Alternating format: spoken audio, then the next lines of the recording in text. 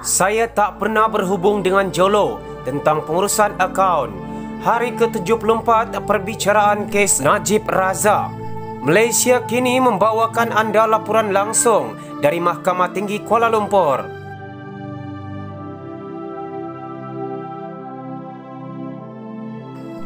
Perbicaraan terhadap bekas Perdana Menteri Najib Razak berhubung tuduhan salah guna kuasa, pecah amanah dan pengubahan wang haram membabitkan dana milik SRC International Sendirian Berhad SRC sebanyak RM42 juta di Mahkamah Tinggi Kuala Lumpur masuk hari ke-74 hari ini.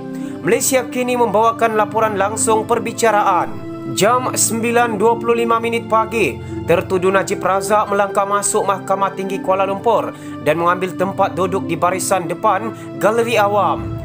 Perbicaraan akan bermula sedikit lambat kemudian hari ini kerana pasukan pertahanan bekas Perdana Menteri perlu menghadiri perkara berasingan di mahkamah tinggi lain. Presiding berasingan berkenaan dengan keputusan mahkamah ke atas permohonan Najib, isterinya Rosma Mansor dan anak perempuannya Noriana Najwa untuk memeriksa barang yang disita oleh SPRM semasa siasatan 1MDB. Pasukan pembelaan hari ini mendapat peluang untuk pemeriksaan semula terhadap Najib Razak bagi peringkat pembelaan perbicaraan RM42 juta SRC International bekas Perdana Menteri itu. Jam 9.49 minit pagi, Najib Razak masuk kandang saksi, prosiding bermula. Turut dilihat di mahkamah ialah DPP VC Tambaram yang dijangka menghabiskan satu jam lagi untuk menjalankan pemeriksaan balas terhadap Najib. Turut hadir ialah peguam bela tertuduh Muhammad Syafi'i Abdullah yang dijangka memulakan pemeriksaan semula terhadap Najib selepas pendakwaan selesai.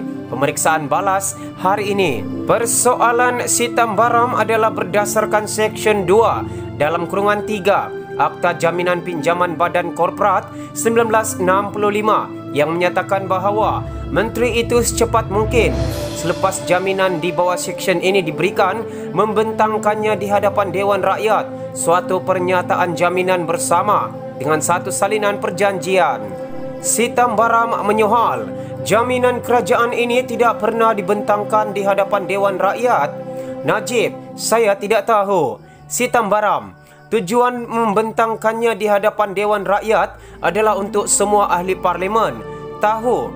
Najib, ya untuk ketelusan. Najib juga mengakui bahawa tiada Hansan Parlimen boleh dikemukakan untuk mengesahkan sama ada ia telah dibentangkan di Parlimen. Bekas Menteri Kewangan itu berkata demikian ketika pusingan akhir pemeriksaan balas oleh DPP VC Tambaram. Saya tidak tahu, itu tugas administratif, jawab Najib.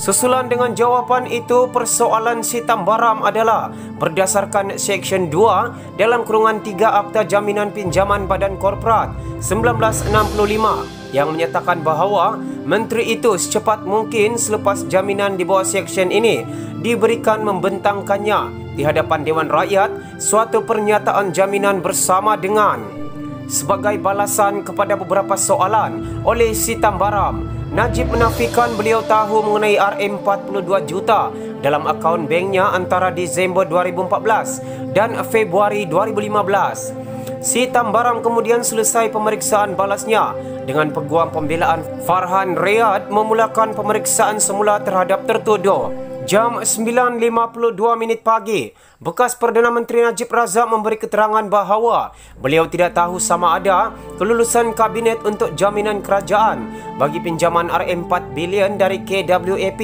kepada SRC International pernah dibentangkan di Dewan Rakyat. Ini akan memulakan proses untuk mempertimbangkan permohonan pinjaman oleh SRC. Ini tidak bermakna saya akan mengatasi kuasa panel pelaburan KWAP. Menurut undang-undang, panel pelaburan mempunyai kuasa mutlak untuk memutuskan keputusan permohonan sebagai seorang menteri. Saya tidak boleh mengatasi kuasa itu, kata Najib. Najib juga berkata perkara itu jelas ditunjukkan kepada KWAP hanya meluluskan pinjaman RM2 bilion kepada SRC pada 2011 dan bukannya RM3.95 bilion. Jam 10.04 minit pagi, DPPV Sitambaram selesai pemeriksaan balas terhadap Najib Razak. Para menteri bebas untuk memberi pandangan mereka mengenai kertas itu kata Najib.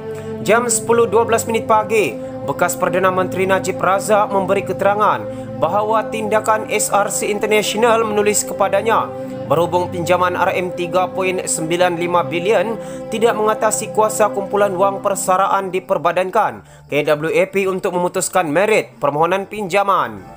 Semasa pemeriksaan semula oleh Peguam Bela Farhan Riyad, bekas Menteri Kewangan itu mengatakan bahawa ia dilakukan hanya untuk memulakan proses dan bahawa beliau, Najib, tidak dapat mengatasi kuasa KWAP untuk memutuskan merit permohonan pinjaman. Farhan bertanya mengenai isu yang dibangkitkan oleh pihak pendakwaan semasa pemeriksaan balas sama ada jaminan kerajaan telah ditetapkan terlebih dahulu untuk diluluskan. Sudah tentu tidak, ahli kabinet boleh memberikan pandangan malah kertas yang dibentangkan oleh Perdana Menteri boleh ditolak oleh kabinet. Jam 10.50 minit pagi, bekas Perdana Menteri Najib Razak memberi keterangan bahawa kabinet tidak memutuskan lebih awal dalam meluluskan jaminan kerajaan untuk pinjaman RM4 bilion kumpulan wang persaraan diperbadankan KWAP kepada SRC International. Semasa pemeriksaan semula oleh Peguam Bela Farhan Riyad, Najib berkata ia kerana para menteri kabinet boleh memberikan pandangan mereka dan boleh menentang sebarang kertas kabinet yang dibentangkan oleh Perdana Menteri. Telah dinyatakan beberapa kali bahawa saya tidak mempunyai kepentingan peribadi dalam SRC. Saya telah menyatakan secara berulang kali dan saya akan terus menyatakan ini, kata Najib. Jam 11.21 minit pagi, prosiding berehat sebentar. Jam 11.53 minit pagi, prosiding diteruskan. Jam 12.20 minit tengah hari, Najib mengulangi bahawa beliau tidak mempunyai kepentingan peribadi dalam SRC International. Bekas Menteri Kewangan itu berkata demikian semasa pemeriksaan semula oleh Peguam Bela Farhan Riyad.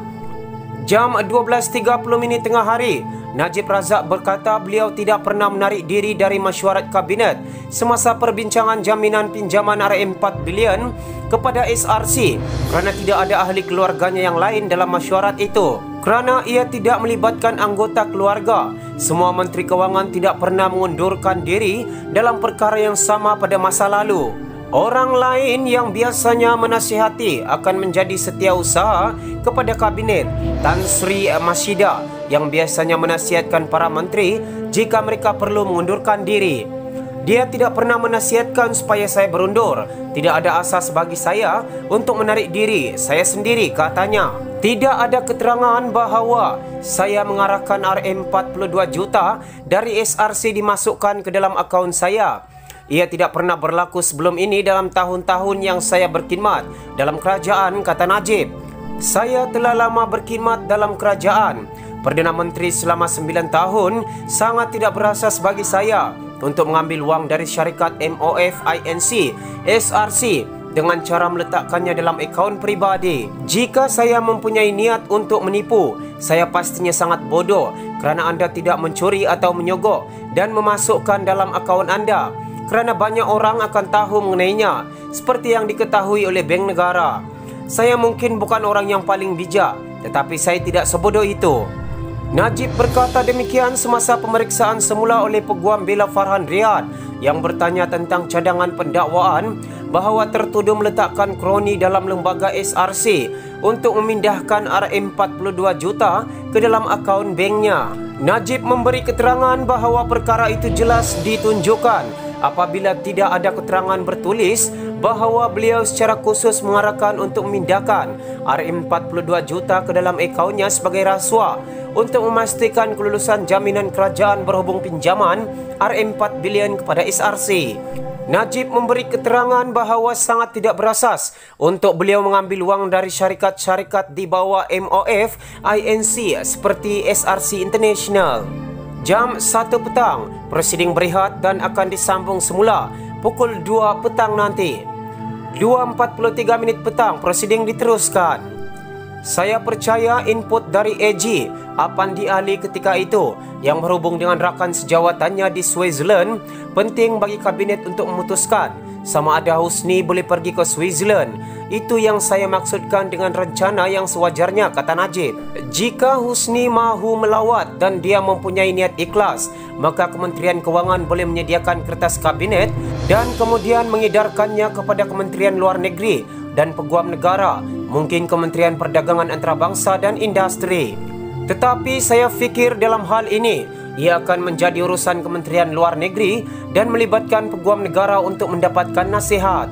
Perlukan maklum balas mereka kerana ia bukan hanya perkara kewangan tetapi juga keputusan kepentingan undang-undang. Jam 3.3 minit petang, Najib memberi keterangan bahawa bekas Menteri Kewangan kedua, Ahmad Husni Hanazla, sepatutnya berunding dengan Kementerian Luar Negeri dan Peguam Negara sebelum pergi ke Switzerland untuk cuba mendapatkan semula dana awam sebanyak RM3.6 bilion. Semasa pemeriksaan semula oleh Peguam Bela Farhan Rehad, bekas Perdana Menteri mengatakan bahawa Husni sepatutnya melakukan hal itu sebagai sebahagian daripada rencana yang sewajarnya sebelum ke Switzerland. Semasa peringkat pendakwaan, Husni memberi keterangan bahawa Najib menghalangnya pergi ke Switzerland untuk mendapatkan semula pinjaman RM3.6 bilion KWAP kepada SRC International yang dihantar ke luar negara. Apabila Herwinder Jit bertanya mengapa Yu berurusan dengan Jolo, walaupun Jolo tidak mempunyai kuasa untuk mengendalikan akaun, Najib berkata, perkara itu hanya ditanya kepada Yu. Najib juga sebelum ini memfailkan saman terhadap Yu dan AM Bank atas dakwaan salah urus akaunnya dengan berkongsi maklumatnya kepada Jolo. Herwinder Jit menyoal, dia Jolo melalui log perbualan dengan Yu memberi gambaran bahawa dia menerima teks daripada anda dalam hal kredit perbelanjaan. Adakah anda berkomunikasi dengan Jolo berhubung pengurusan akaun anda? Najib menjawab tidak. Najib menjelaskan bahawa komunikasinya yang terhad dengan Jolo hanya berkaitan dengan derma keluarga diraja Arab yang dimasukkan ke dalam akaun tertuduh.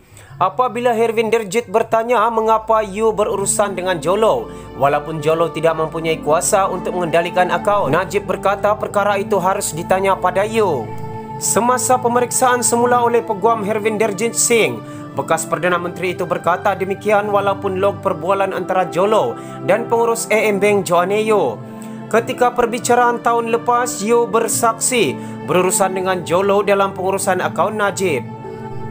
Jam 3.51 minit petang, Najib memberi keterangan bahawa beliau tidak pernah berkomunikasi dengan Jolo berhubung pengurusan akaunnya. Jam 4.4 minit petang, Presiden berehat sebentar. 4.20 minit petang, Presiden diteruskan. Si Tambaram meminta peguam terbabit, Hervinderjit Singh membuat rujukan sebagai pendakwaan, bukan si Tam semasa menyoal balas tertuduh. Timbalan pendakwa raya itu bangun mencela semasa Hervinderjit mengemukakan soalan kepada Najib dengan membuat rujukan kepada pertanyaan terdahulu yang dibuat si Tambaram. Mungkin kamu ingin merujuk kepada pendakwaan.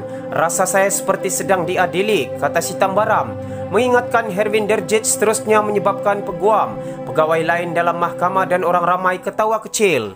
Dengan tersenyum, Herwin Derjet kemudian menyusun semula soalannya kepada Najib. Jam 4.4 petang, Presiden berehat.